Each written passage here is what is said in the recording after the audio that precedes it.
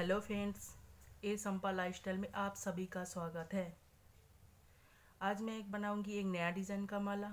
उसके लिए मेरे को चाहिए रेड कलर की मोती, मोगरा भायर कड़ी, मक्खी, सराफा एंड धागा। Latest start.